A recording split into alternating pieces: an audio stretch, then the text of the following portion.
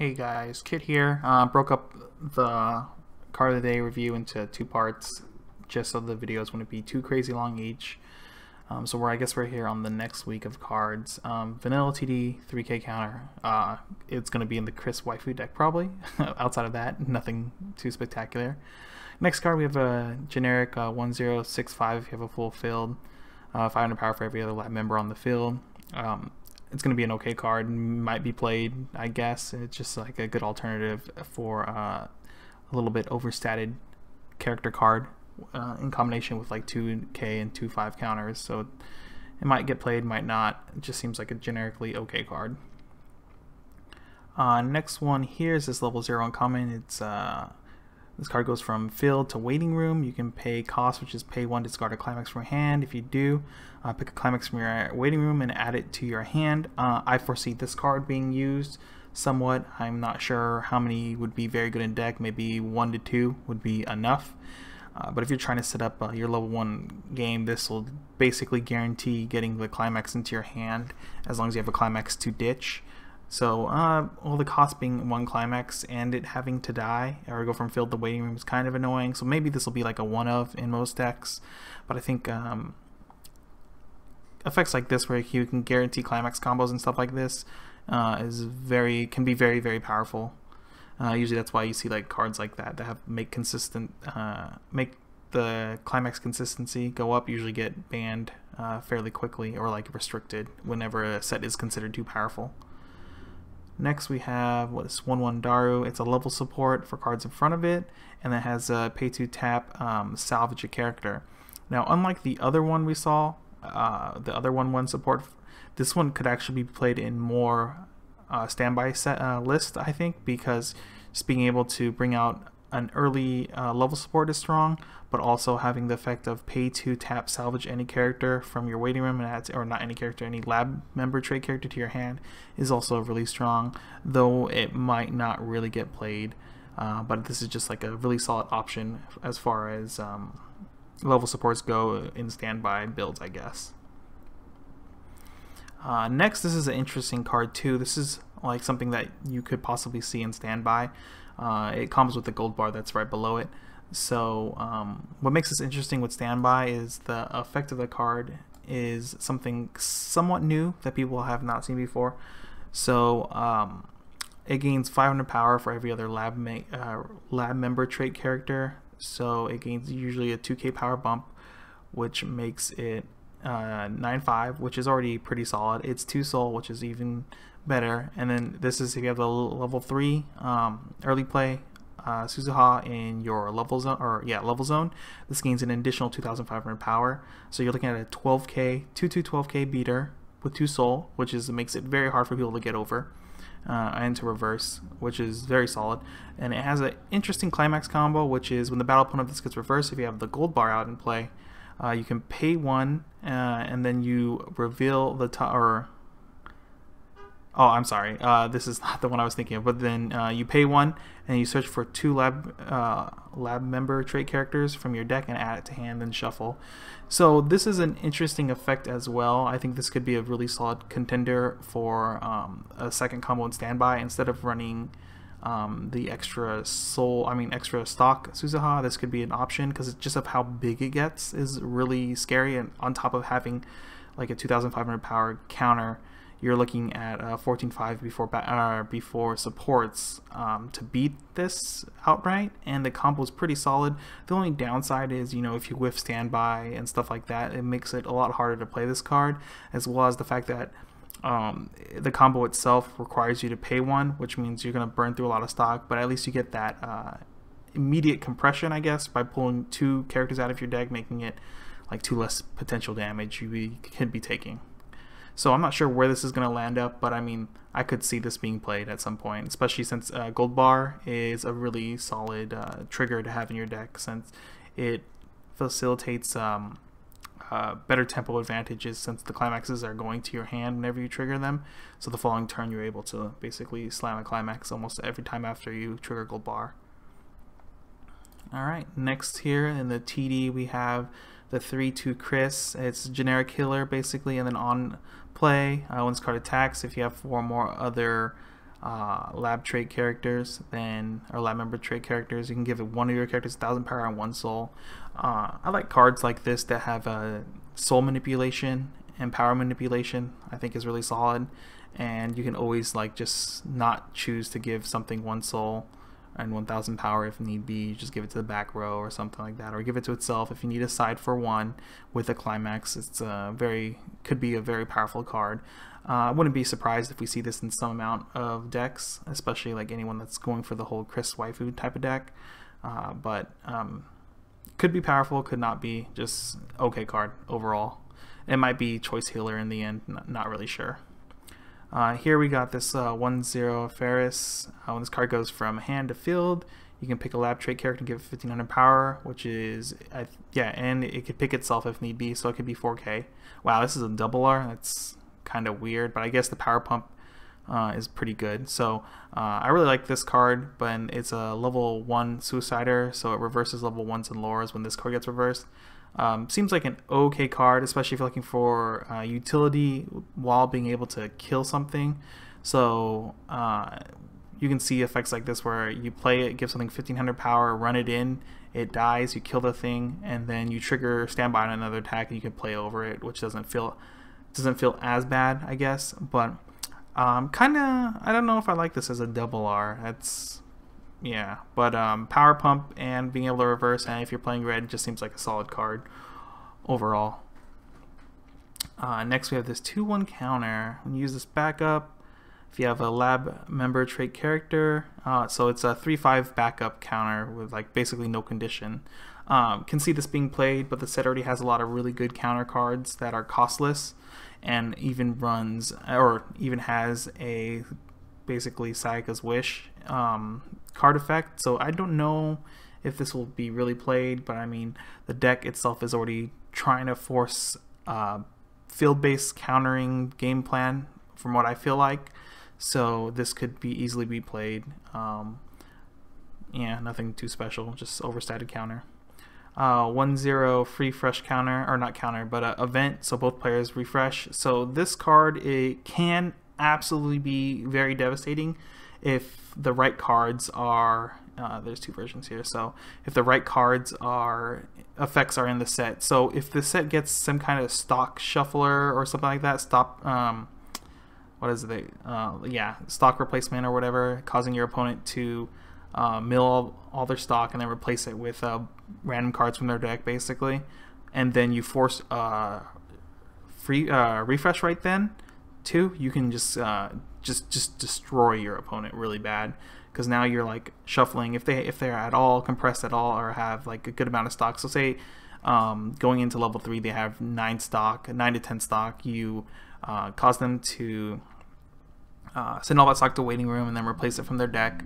Uh, so you potentially you put 10 cards in waiting room that are usually good players will keep their stock very clean.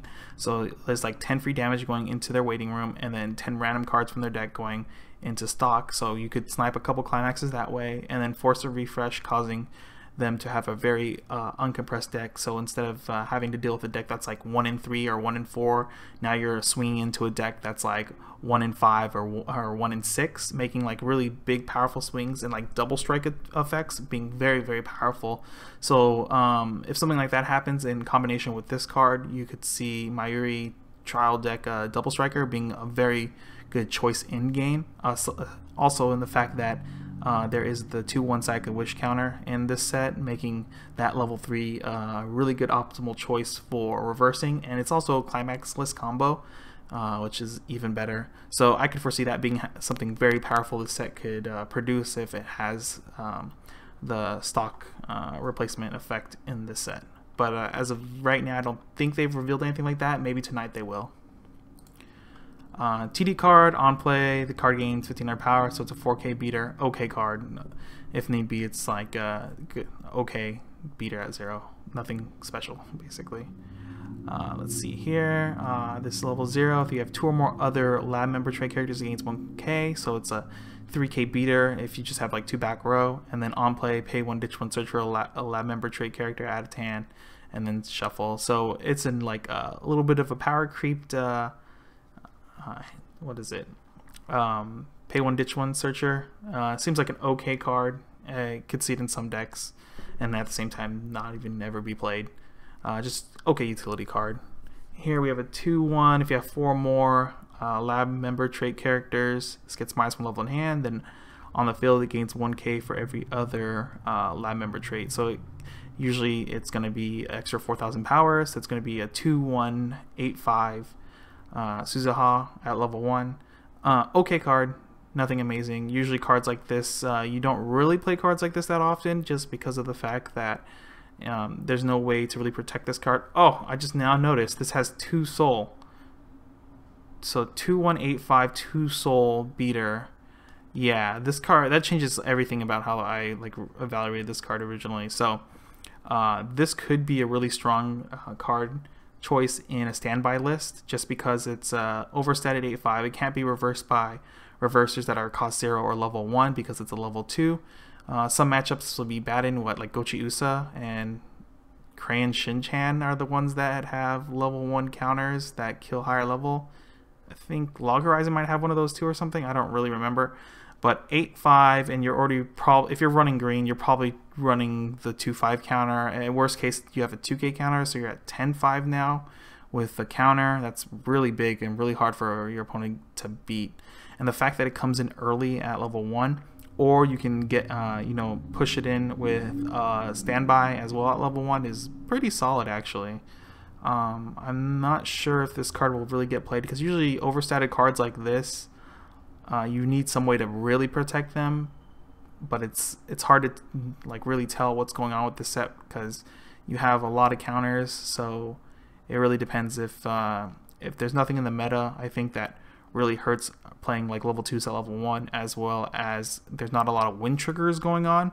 Uh, this could be a really really solid card and you don't feel as bad too if you have to hard play it because it only costs one stock. So yeah, two soul two soul beater tempo might be really really good.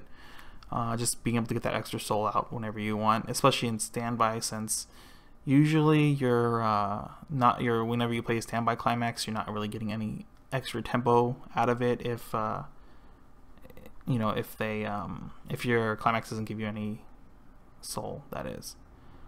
All right we have these two two events. Um, if you do not have a lab trait a lab member trait character you cannot play this. Put this card in memory. Uh, so put the top two cards of your deck to stock and then one of your characters gains 2000 power and then if you have two or more of these in memory, you draw two, ditch one. If you have three or more in the memory, uh, pick one of your opponent's back row cost one or lower characters and send it to the waiting room. And then if you have four more in memory, um, two characters from your clock, add it to hand, and then discard a card. So at four in memory, they it becomes a heal two plus one, or yeah, basically hand filter or whatever. So you're going to be ditching one as well. Um, this card could be okay. Uh, they've been printing a lot of weird effects like this lately on event cards, especially on 2 2s. So this card could be okay if you have effects that can force this into memory. Um, but I doubt that effect's to be printed. But this could be really fun in like some meme decks, which uh, I will definitely be building a few of those just for fun on uh, at uh, shop tournaments and stuff. Uh, but I don't think this is really to be played in the meta deck. So next here we have the Shimikaze combo from the trial deck. So this this could be a good option, uh, optional choice for the your level one game plan if you want it in yellow and a way to search. So climax combos with Wind Trigger. I think right now Wind Trigger is uh, pretty strong uh, trigger to have as far as building tempo. I think a lot of sets right now are really relying on early plays and things that cost a lot of stock, but being able to cheat them out early, like Hina Logic and stuff like that. Uh, so Wind Trigger I think is an okay trigger, but uh, besides that, um, this is a pretty generic combo. Just 6k with the Climax. If it reverses battle opponent, you search your deck for a lab member character. So uh, this was already spoiled before, but we'll go ahead and go over it. Um, during your turn, if all your characters are basically characters, this card gains 2000 power, so usually on attack it's going to be 11-5 before supports. On play, look at top three, add one card to hand, discard the rest, and then climax combo with the gate. Uh, pay on attack, pay two, ditch one. Um, if you have the gate combo, you can pay cost. If you do, your opponent takes X damage, and for the turn, the card gains 1,000 power. Uh, X is where the number of level 3 or higher characters. Uh, your level 3 or higher characters. So it counts itself as well. Um, one bad thing about this card is that uh, Mayuri support and standby kind of like negatively impact this card. So you're going to have the support in the back row and then say like three level threes in the front row because there is a Mayuri uh, level three support that's like the, I believe like the Asuna support from Sword Art Online. So uh, you'll be attacking with this and so it's a pay to ditch one burn four.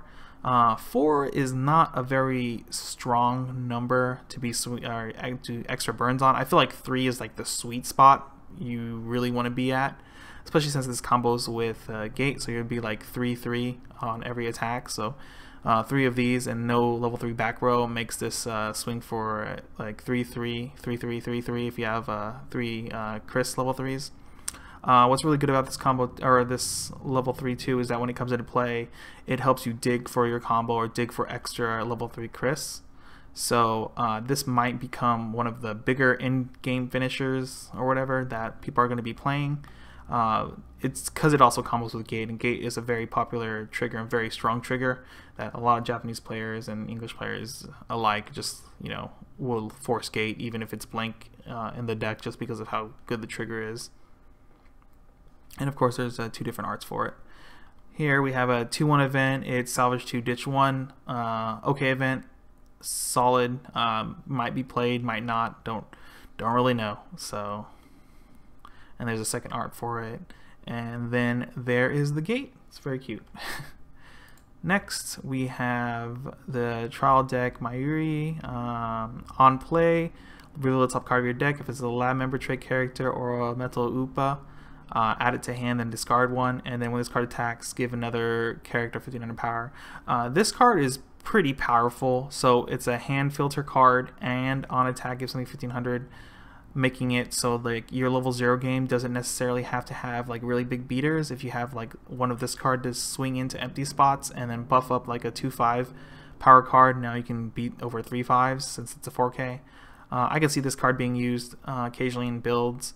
Um, solid card all around. And then we have this event card in the trial deck. I found this very interesting. I don't remember. I think they printed uh, an effect like this before, but I'm not very sure. So it's a 1-1 event counter. Um, if you don't have a lab member trait character, you can't play this from hand. Uh, give one of your characters the effect that it cannot be reversed uh, for the turn. So this is really, really good in a lot of ways. So you like you're paying one to deny your opponent a plus if they have to reverse, and it also helps late game as well. So you pay one to stop them from reversing like a level three or whatever. And what happens is now any of their reverse combos cannot go off, so like clock kicks and things like that. Uh, it's just a really powerful effect. I just don't know how this event is going to affect the deck builds or anything like that, or if, even if it'll be used.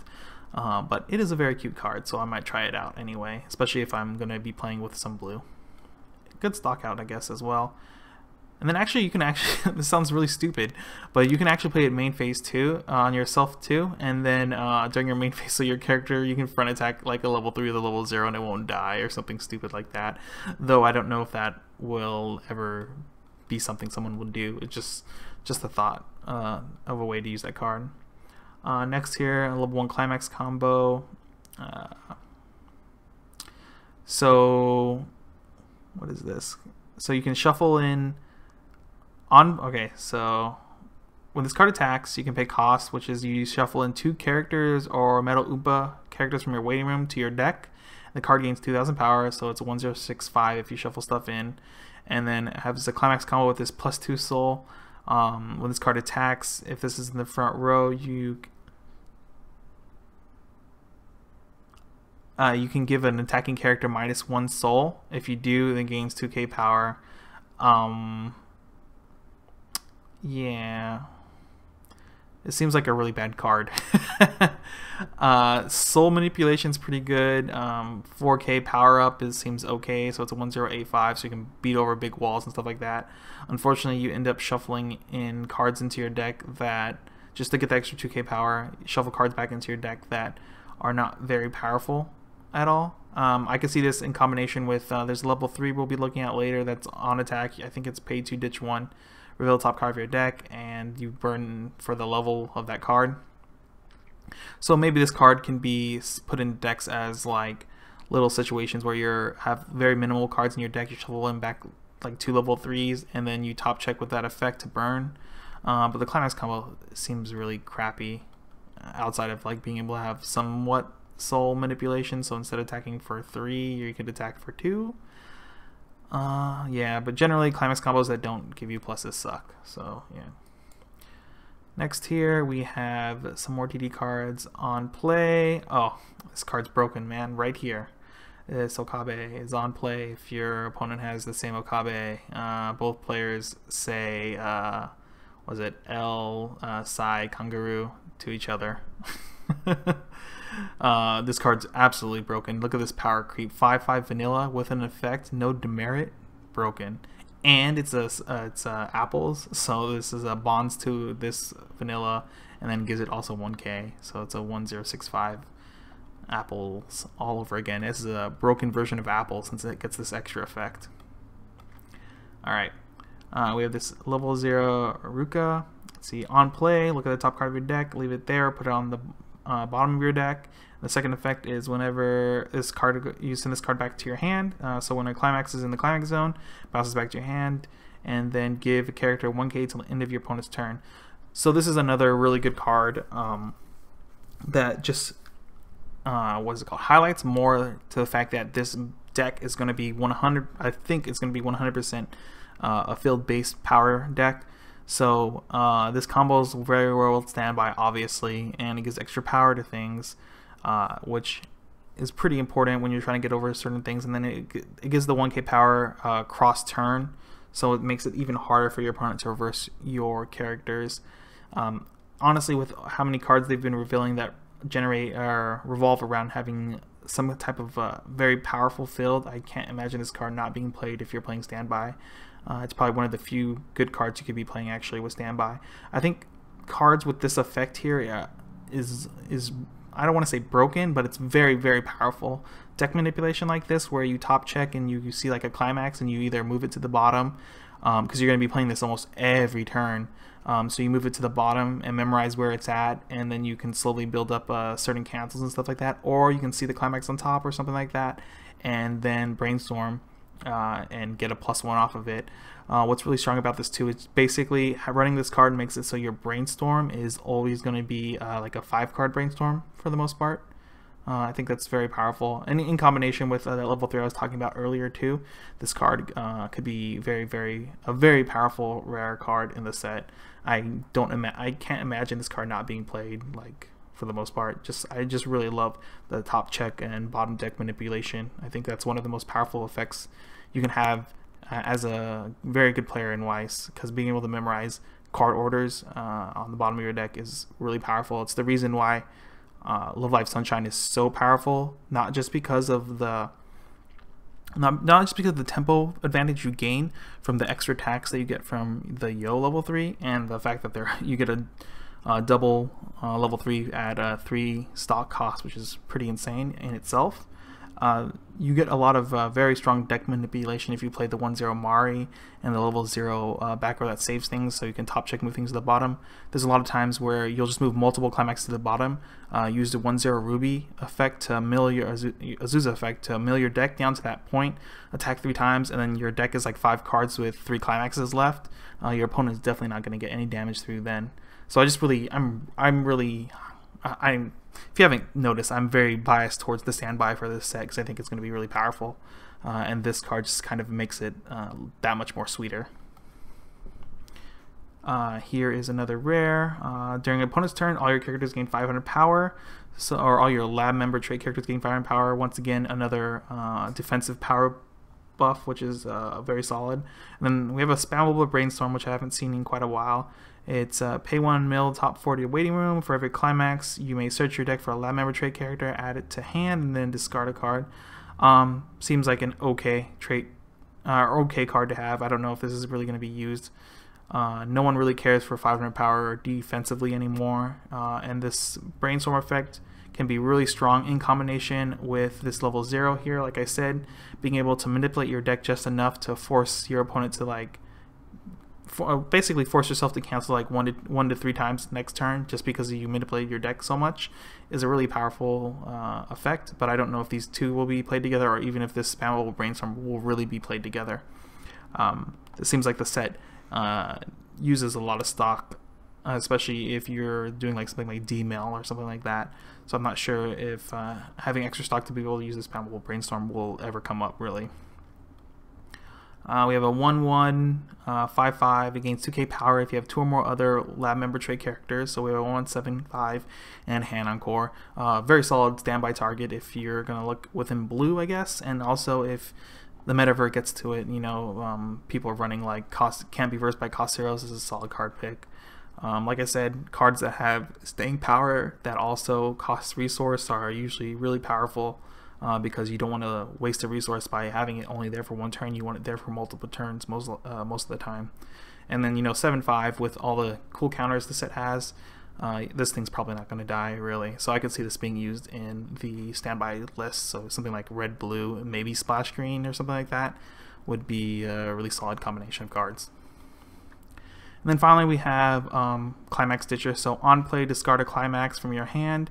If you do, then you can salvage one lab member trait character to your hand.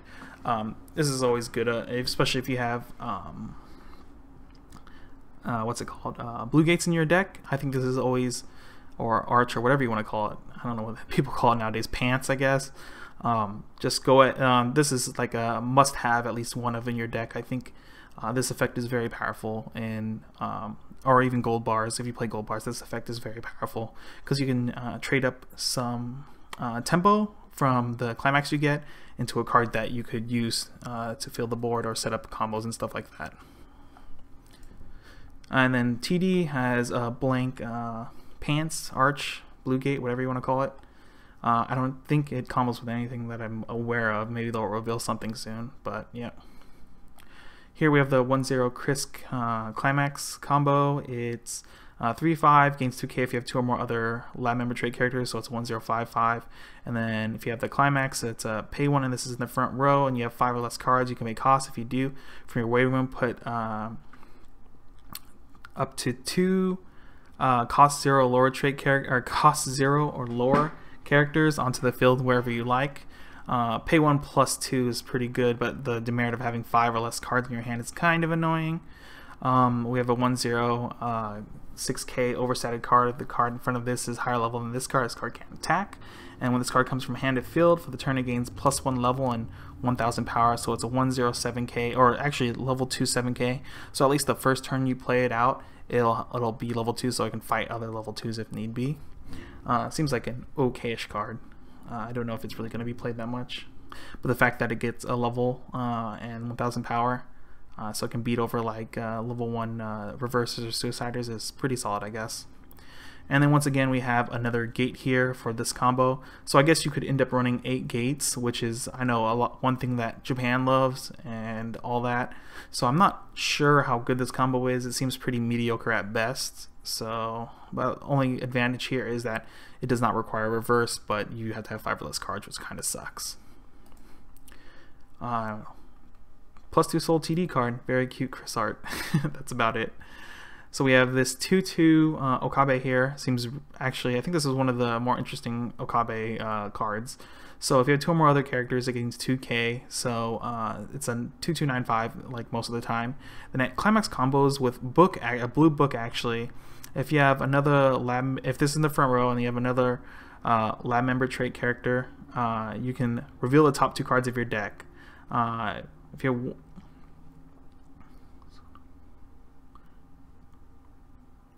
so uh, if you revealed one or more, uh, you can, and they're uh, lab member trait characters, you can put it to stock in any order you like and then put the other cards into the waiting room. So this is an interesting stock uh, stock charging combo that I could see being played in like maybe standby. So sometimes when you play the book, this card becomes a uh, you know 2-0 or whatever or 2-1 for uh, 9-5 beater with two soul seems okay. Uh, but the fact that I could possibly cheat this out early uh, is very appealing to me. I don't think it'll really be like very a very powerful card because you have to cheat it out early, and then you got to wait one more. Then the next turn you got to start generating the stock.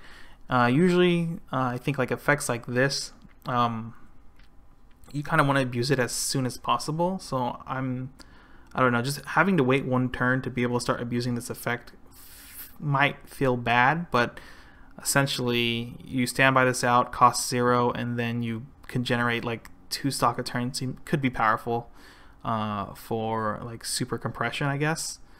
Um, yeah, I think outside of that, like the timing for this too is like you want to do this on your first deck usually. So if you have to hard play this from hand, it, it probably feels really bad. Uh, this is another climax for the books here that they revealed as well. So this book combos with these two cards. Uh, when this card attacks, if this book exists um, in your climax zone, uh, and you have another lab member trait character, you may it's just Magro or whatever. Look at top four, add one to hand, discard the rest. Um, this effect here, I could see being played okay, so if you're playing, you can play Standby Book, which seems powerful in a way because you fill up your waiting room with card choices, and then um, it usually guarantees that your deck is going to be uh, refreshing before level 2, causing it so your Faris level 3s can come out more consistently. But even about that, I don't know if this card is going to be good enough to be played. I'm sure a lot of people are going to play this just because they're so used to having this effect and it being like somewhat powerful. But um, 6k power with a climax just doesn't seem very appealing nowadays. I feel like 6k is uh, very low. On the bright side, you don't have to reverse uh, an opponent with this card. So I'm I don't know. I'm not sure where this is gonna land on the on choosing uh, on the choice of uh, level one combos if you plan to play a level one combo. Um, but it could be a very powerful card depending on the other early plays in the set. It seems like Faris level 3 is the only early play that has the condition of two less climaxes if that I can remember. So in that case this card is can be powerful powerful in that package and I think that if that's the only package it's powerful in um, I don't know if this card is going to be good and good enough but uh, my evaluation might be completely wrong uh, depending how strong how people feel uh, Faris, the Faris early play is, like how powerful it feels. Because I guess uh, in combination, I think in that deck you're you're looking to play blue and red as your main colors. I think. I want to say, I want to say you were looking to make yeah play blue and red because you want to play standby in this book to be able to get this combo off and generate guarantee the Faris early play. Um, yeah, it, again, I guess it, it, just really depends how much the Faris level 3 builds tempo for you, making that card more appealing. I think outside of that, uh, it, this this effect is not very powerful. I think people are gravitate gravitate way too much to being able to mill their deck through combos like this. I feel like main deck manip or main phase deck manipulation is a million times stronger than uh, this Maguro effect on attack. But uh, we'll see what happens there. I feel like I kind of rambled on a little too long about this card effect, but yep. So this card was originally spoiled early on too. So this 3-2 Mayuri is uh, is a lab member trait character support for cards in front of it. Game gives 2k to those characters. On play from hand, you can discard a card to heal a stock. So in reality, this is a 3-1 ditch 1, heal 1 uh, type of uh, effect going on here, which I think is pretty solid, especially if you're playing um, the Chris top end. Uh, the, obviously, you're not going to have any heals, so this is, you're probably going to cheat out this for heals. And the fact that it doesn't uh, eat up too much stock but generates you stock back is uh, very powerful when you're trying to um, get enough stock to you know triple Chris. But like I said originally, this card has a problem like it it doesn't synergizes very well with the Chris level three because I feel like you want to get that sweet spot of three uh, burning for three, not four, and this card. Uh, causes you to burn for four if you have it in the back row and then um, a field of level threes in the front row. The last effect is um, uh, act ability, you rest two lab member trait characters and swap a card in your on your level zone with a card in your waiting room, and then you give a character plus one level. I don't know why they gave it this plus one level thing. I guess it's to uh, guarantee that you have a level two becomes a level three or something for whatever reason. I'm not really sure what is up with this uh, plus one level stuff, but yep. And there's a second art for it. And then we have a 2-1 counter, it's 2-5 counter, but it has the secondary effect of pay to kill a character on your field, and then kill uh, one of your opponents uh, higher level than their current level. Uh, oh wait, does this give till end of opponent's turn? Oh no, you have to give to one of your own characters. Dang, I was like this. Com- this in combination with uh, this being to one of your opponent's characters until end of turn could have been like a really silly power play card combo, but I guess that's not not gonna happen.